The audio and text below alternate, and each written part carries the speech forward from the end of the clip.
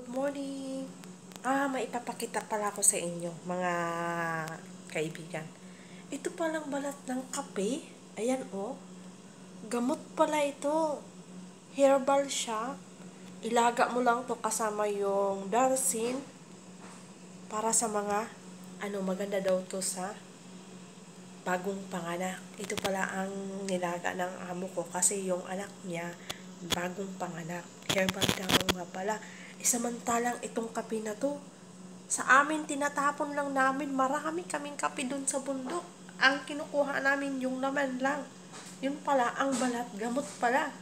So, ngayon ko lang alam po, para po sa mga bagong panganak dyan, kung mayroon kayong mga balat ng kape, ito ang lagain nyo para maging malusog ka at hindi ka matalaban ng binat. So, ayan lang po. Maraming salamat. Pinakita ko lang to. Bye-bye!